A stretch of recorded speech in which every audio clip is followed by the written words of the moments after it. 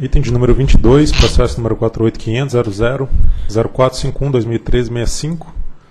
Recurso administrativo interposto pela Copel Geração e Transmissão, em face do auto de infração número 5 deste ano, lavrado pela SFF, que aplicou a penalidade de multa em razão da celebração de contrato com a Copel Distribuição S.A. sem prévia anuência da ANEEL. Relator, diretor André Peptoni da Nóbrega, informa que há pedido de sustentação oral. De 21 a 24 de março de 2011, a SFF fiscalizou a Copel GT para verificar a estrutura para execução dos serviços de operação e manutenção da concessionária, a fim de subsidiar a conclusão de seu segundo ciclo de revisão tarifária. A fiscalização identificou as seguintes não conformidades constantes do relatório de fiscalização número 2 2011, parte integrante do termo de, do termo de notificação número 51 2011 SFE. Não conformidade N1 e N2, funcionários da distribuidora atuando em atividades atinentes à Copel GT, sem contrato de prestação de serviço, o que viola os artigos 1 2 14 e 16 da Resolução 334-2008. Não conformidade N3, ausência de contrato de compartilhamento de infraestrutura, o que viola os artigos 1 2 14 e 24 da Resolução 334-2008.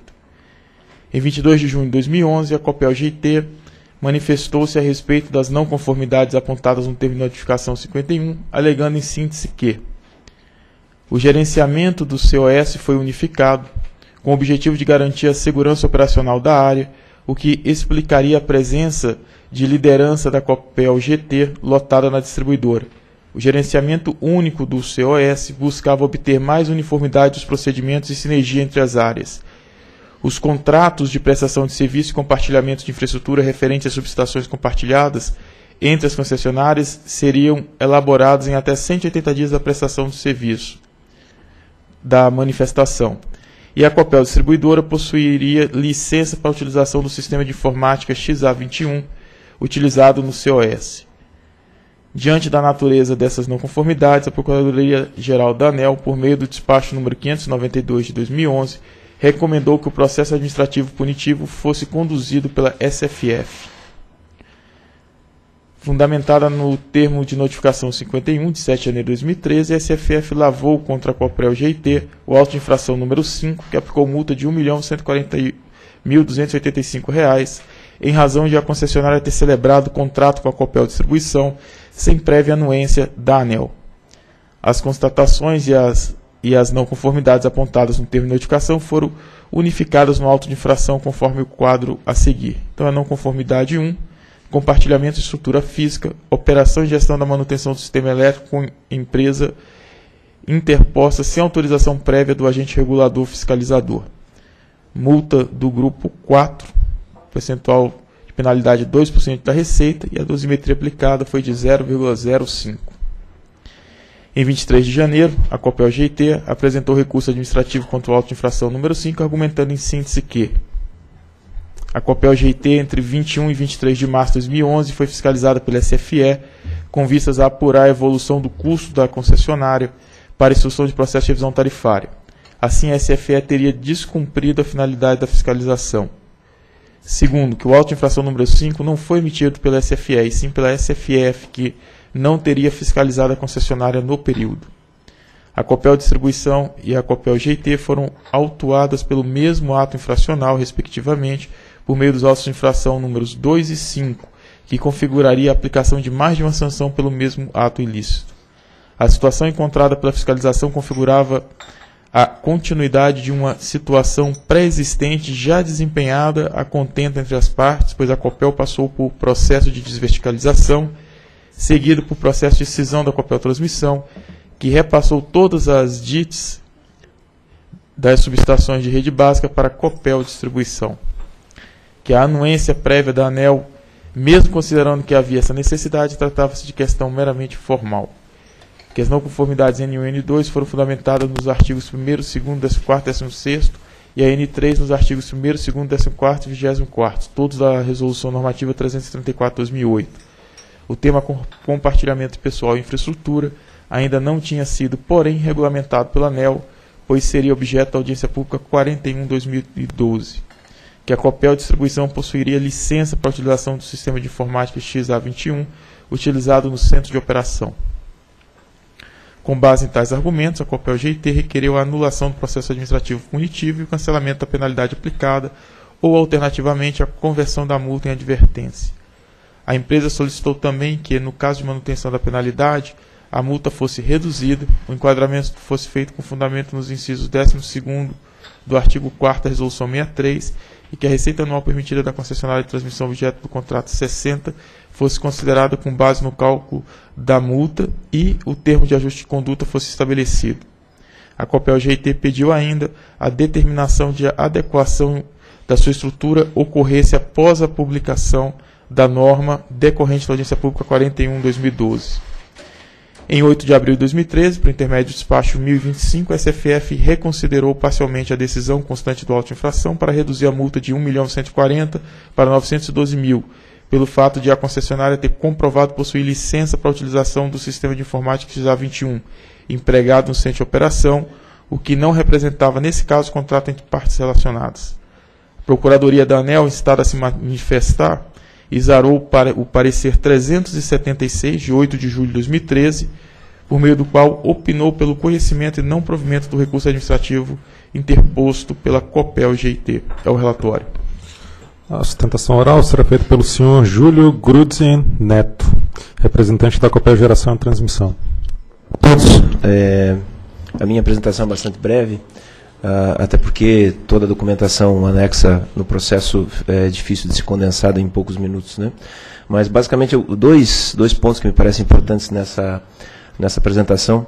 É, o primeiro deles se refere às duas não conformidades. Né? A primeira, N1, referente ao fato de haver funcionário da COPEL D prestando serviço para a COPEL GT sem haver contrato de prestação de serviço e a não conformidade 2, referente ao fato de não haver contrato de prestação de serviços de operação e manutenção entre a Copel GIT e a Copel Distribuição. Né? É que sobre esse aspecto é importante que se reafirme que não há uma prestação de serviço entre as empresas. Né? O, que, o que ocorre, como até está escrito no próprio relatório, Existem duas estruturas distintas, a Copel Distribuição e a Copel GIT, é, cada uma com um quadro funcional próprio. Né? Isso, pode ser feito, isso pode ser visto, inclusive, através da figura é, do funcionamento do centro de operações é, do sistema da Copel. Então, eu tenho de um lado à esquerda dentro aqui dessa dicotomia, você tem o centro de operações é, das estações, basicamente que operam rede básica, à, à direita é, o COSI, que é, que trata e que opera basicamente as, a, a, o controle do sistema do sistema de distribuição. Né? Ah, e como tal, existe um quadro funcional próprio para cada um deles, não há uma contaminação nisso. Eles simplesmente eles, eles acabam dividindo o mesmo espaço. Né? Uh, o, o, que há, digamos assim, um, um, controle em conjunto, como até o próprio relatório colocou, é o controle central, ou seja, aquele gestor operacional que por questões técnicas, por questões de segurança ou até de é, até por questões econômicas, ele centraliza a operação é, em uma decisão única para que não houvesse, que, é, que não ocorresse, digamos assim, uma, uma ratificação entre decisões entre dois gestores diferentes. Né? Prova disso é que existe uma estrutura diferente para cada um deles. Quando a gente pega a estrutura organizacional da Copel GIT, a gente consegue perceber que pendurado ali na, na, na superintendência de operação e manutenção, existe o centro de operações é, que pertence à GIT. Uh, e na distribuição você tem também essa mesma estrutura, eh, demonstrando essa separação, a dicotomia entre, entre a operação do COS. Né? Então, em cima disso, eh, não há, digamos assim, uh, empregados de uma subsidiária atuando em outra, a única exceção, o gestor do, eh, do próprio COS é que centraliza as decisões. Né? Uh, inclusive, como até dito agora há pouco, a própria ANEL reconhece eh, esse papel através da nota técnica da AP 41 em 2012, eh, que trata isso e que, e que reconhece essa, a existência aqui dessa figura. Né? Então, em função disso, esse é um ponto importante que tem que ser considerado. A outra situação, a, a não conformidade 2, seria a prestação de serviços é, sem contratação entre a Copel GIT e a Copel DIS, há que se considerar a cisão da Copel T em 2007, onde houve, é, onde se verteram os ativos de distribuição é, é, com atenção 69138 para a Copel D e aqueles ativos de rede básica para a Copel G e T. Né? E cada empregado atua exclusivamente na sua, sub, na sua subsidiária. Tá ok? Ah, única exceção é do gestor do COS. Né? Ah, então, portanto, é, eles, eles simplesmente eles compartilham o espaço e não há essa, essa contaminação. Né? Outro ponto importante, que é a questão da instrução do processo punitivo, é que, o, é que tanto a, a fiscalização quanto o TN foram feitos pela SFE. Né? E o AI é, foi emitido pela SFF. Então, aqui me parece uma certa incongruência, né, e abre um precedente até perigoso, em que uma superintendência com, com certas competências passa a fiscalizar uh, quesitos, atributos pertinentes a uma outra superintendência. Né? Há que se considerar que tanto os fiscais da SFE têm um, um conhecimento, têm expertise em certas áreas é, que não, digamos assim, é, se conversam com os fiscais da SFF. Portanto, isso aí me, me parece uma incongruência até certo ponto perigosa. Né? Uh, não é razoável, portanto, que a SFF emita um auto de infração com base em uma fiscalização da SFE. Né?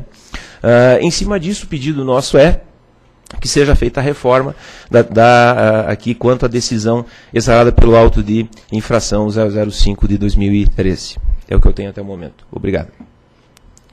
Procuradoria.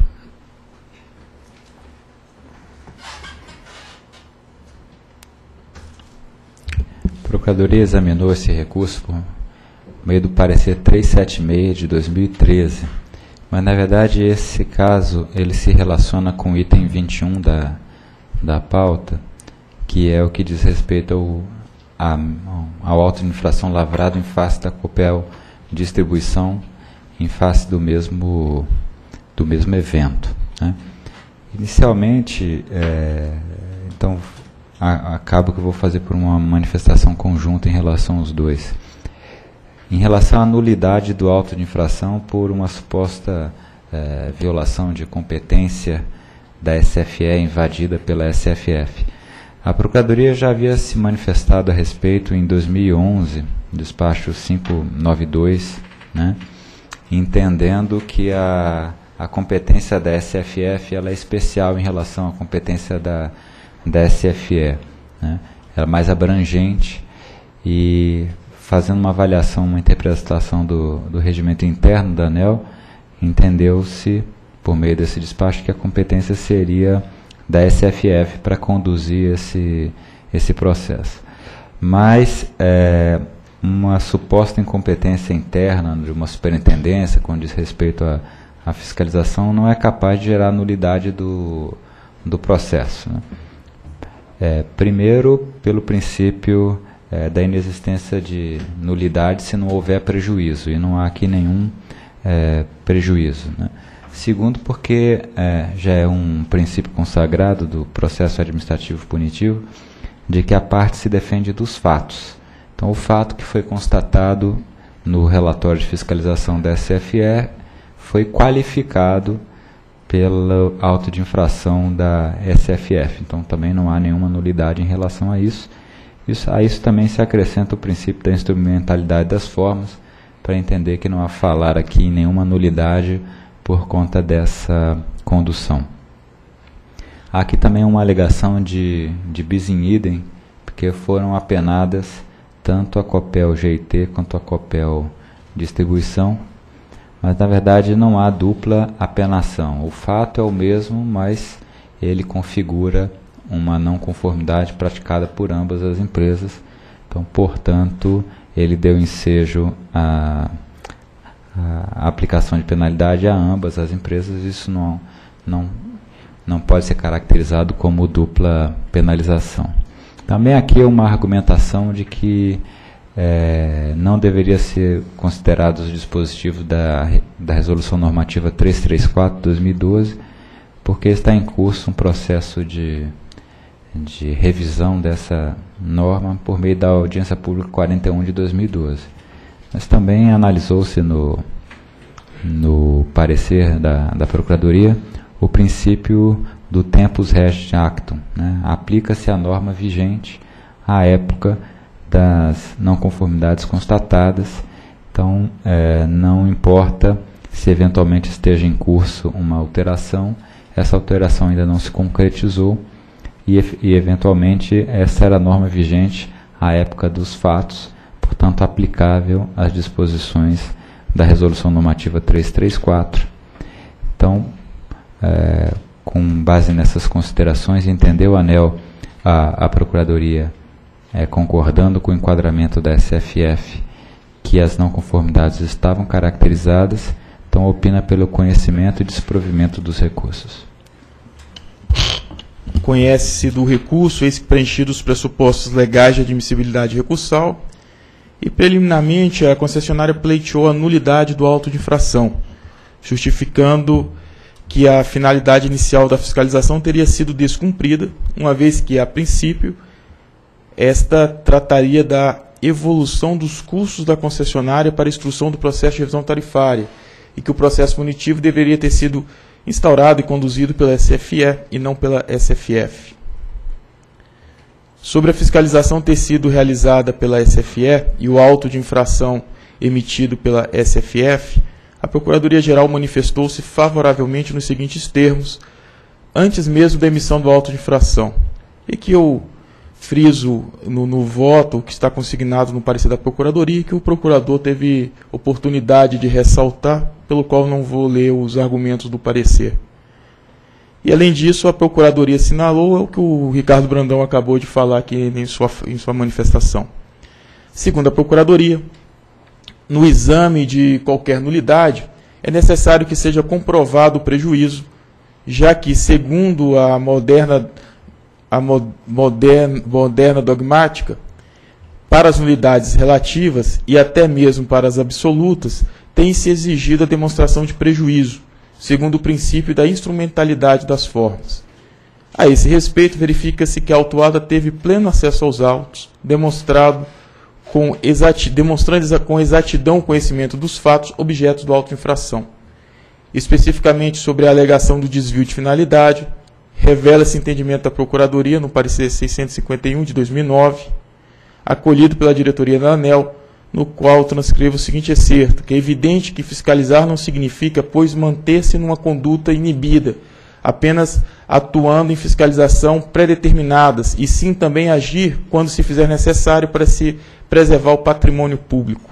Tem-se, pois, que o representante deste ente público, ANEL, com esteio nos princípios constitucionais de eficiência e o da legalidade, de, ao tomar conhecimento da prática de ato administrativo em desconformidade com a legislação, tem o dever, e não apenas a mera faculdade, de tomar as medidas cabíveis para a lavratura de um auto de infração, sob pena de ser responsabilizado penalmente, administrativamente e civilmente. Assim, não merece acolhimento o pedido de nulidade do auto de infração sobre a alegação de que o processo punitivo for instaurado pela SFE e não pela SFF, bem como de que houvera desvio de finalidade na fiscalização. Vamos agora à análise do mérito propriamente dito. Quanto ao argumento de que a COPEL GT e a COPEL D teriam sido autuadas pelo mesmo ato infracional, o que configuraria a aplicação de mais de uma sanção pelo mesmo fato ilícito, Observa-se que a recorrente pretende aduzir possível caso de bis in idem. A esse respeito, a Procuradoria esclarece que o princípio da, veda da vedação ao bis idem incide apenas em uma pessoa ou entidade, ou seja, não se pode aferir que tal princípio foi desrespeitado quando se trata da mesma penalidade sobre duas entidades distintas. Dessa forma, não se deve acatar tal justificativo, uma vez que as penalidades não incidem duplamente sobre a mesma empresa, e sim em empresas distintas. Quanto ao mérito, a concessionária sustentou que a situação encontrada pela fiscalização consistia a continuidade de situação pré-existente, já desempenhada a contento entre as partes, visto que a COPEL passou por processo de desverticalização, seguindo, seguido por processo de cisão da COPEL T, que repassou por todas, que repassou todas as DITs e subestações de rede básica para a Copel D. A Copel GIT comunicou ainda que, por questões de economicidade, disciplina nos procedimentos operacionais e de segurança, os processos e as atividades eram realizados, quando comuns, de forma conjunta, sendo cada empregado responsável pela atividade da respectiva subsidiária. Os contratos de serviço são celebrados em conjunto, mas com previsão de pagamento autônomo, e tal estrutura não representava compartilhamento de mão de obra ou de infraestrutura uma vez que observava a individualidade de cada empresa. Sob tais, tais argumentos, senhores diretores, frisa-se que, no momento da análise da segregação de atividades, a concessionária era obrigada a apresentar todos os contratos a serem celebrados entre as, entre as resultantes da operação societária, os quais, após analisados por essa agência, receberiam anuência em caráter excepcional, preservado a continuidade do serviço. O contrato, de cuja formalização a concessionária se esquivou, deveria ser firmado entre condições estritamente comutativas, sem onerar desproporcionalmente as partes, tampouco oferecer vantagens a uma em detrimento da outra, e ser submetido à anuência prévia da ANEL. Constata-se dos argumentos da concessionária que esta reconhece o compartilhamento de pessoal e infraestrutura, representado pelo gerenciamento dos centros de operações e pela utilização de pessoal técnico na área de manutenção e na operação de ambas as concessionárias, conforme trecho de seu recurso transcrito a seguir.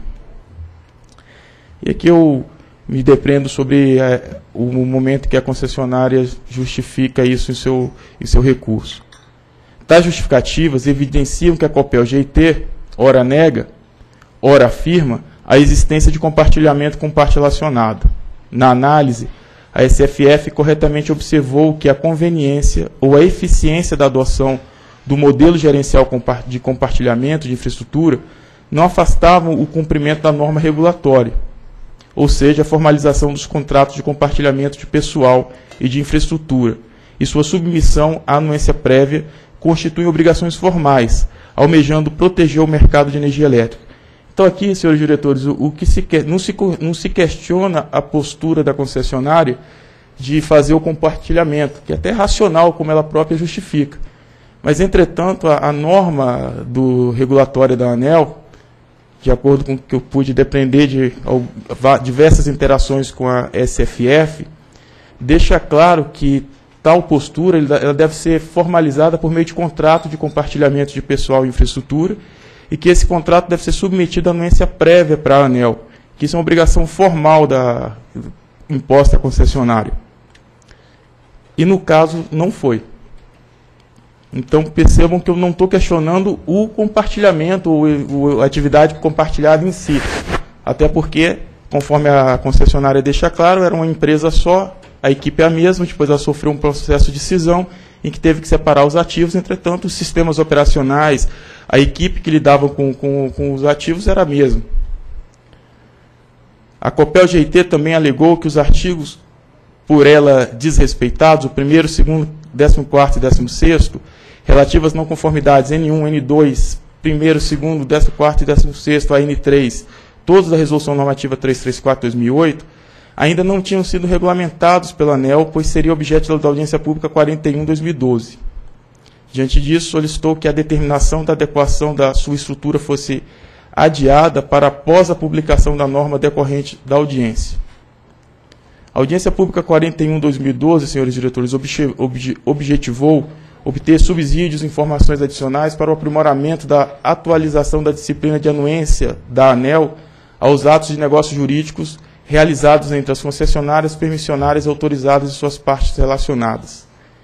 Dentre as propostas de aprimoramento da matéria, há uma que enseja as regras de transição a respeito do compartilhamento de recursos humanos, as quais visam a sua extensão aos gestores operacionais, com o intuito de desonerar as concessionárias. Ressalta-se, contudo, que a mudança na Resolução Normativa 334-2008, ou até mesmo a criação de outra que abarcasse tal tema, constitui mera expectativa. A norma estava em audiência pública. Ou seja, não, não existe a obrigação, é uma mera expectativa. A, o regulamento vigente é o que deve prevalecer. Sobre tal fato, a Procuradoria assinalou que, segundo o princípio do tempus regio actum, segundo o qual os atos jurídicos se regem pela, lei da época, referida resolução no formato em que se encontra está em seu pleno vigor e, portanto, deve ser orientadora dos atos da administração. E concluiu que acatar o argumento apresentado pela Copel GIT representaria afronte ao princípio da legalidade, visto que não age estritamente em virtude da lei e até mesmo o próprio princípio da motivação do ato administrativo. Desse modo, a não conformidade deve ser mantida, visto que a Copel GT infringiu dispositivos da resolução normativa vigente ao utilizar conjuntamente as estruturas de manutenção e operação de energia elétrica sem atender aos requisitos fixados na norma de submissão de contratos à anuência prévia da ANEL. Quanto ao enquadramento da não conformidade, a concessionária justificou que o correto seria o inciso 12 do artigo 4 da Resolução 63, de 2004, e não o 12 do 7 dessa resolução. Ao analisar tal argumento, a Procuradoria esclareceu, com o que se concorda, que a essência do pedido de anuência é a necessidade de sua aprovação.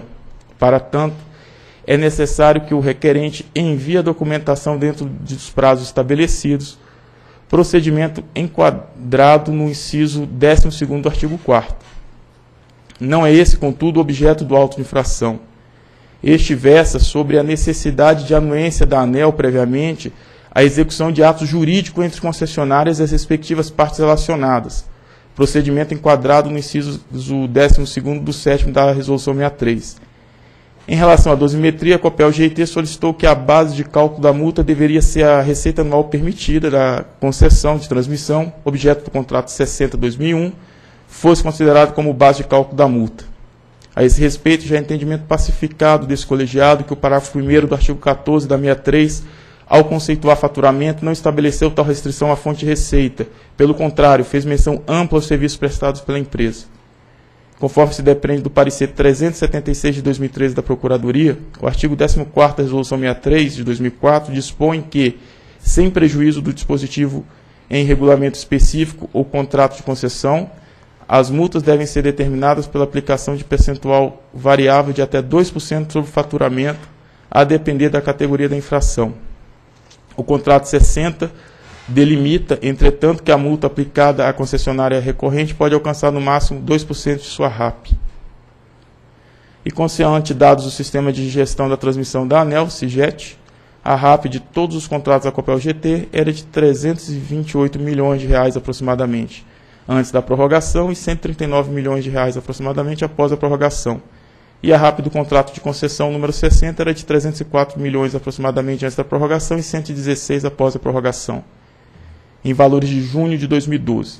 De start, o valor da multa é inferior ao limite de 2% da RAP, tanto do segmento de transmissão da empresa como do contrato de concessão número 60. Quanto à solicitação de estabelecimento de TAC, verifica-se que a concessionária não seguiu os pressupostos de admissibilidade, forma, requisitos processuais e méritos expostos na Resolução 333 de 2008, portanto, não deve ser acolhida. A recorrente requeriu a conversão da multa em advertência, sem, entretanto, apresentar fundamentação relativa aos requisitos estipulados no artigo 8 da Resolução Normativa 63 de 2004.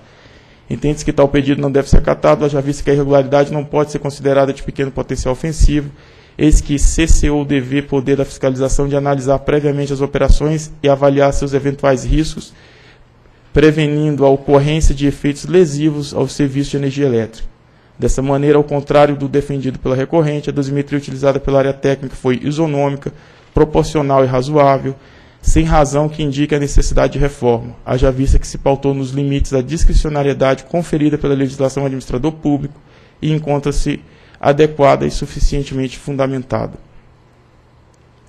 A partir de tal análise das considerações apresentadas no processo 48.500.000 451-2013 de 65, voto por conhecer do recurso administrativo interposto pela Copel GIT contra o auto infração número 5, lavrado pela SFF, que aplicou multa devido à implementação de contrato de compartilhamento de pessoal e infraestrutura com a Copel D, sem submissão prévia à anuência da ANEL, para no mérito dar-lhe parcial provimento, e nos termos do despacho 1025 de 2013 da SFF, manter a multa de R$ 912.228,70 a ser recolhida conforme legislação vigente ao voto. Em discussão, em votação. Voto com o relator. Também voto com o relator. Proclamo que a editoria decidiu por conhecer e dar parcial provimento ao recurso interposto pela COPEL, no sentido de manter o juízo de consideração, reconsideração exercido pela SFF, no sentido de reduzir a multa para R$ 912.228,70. Próximo item.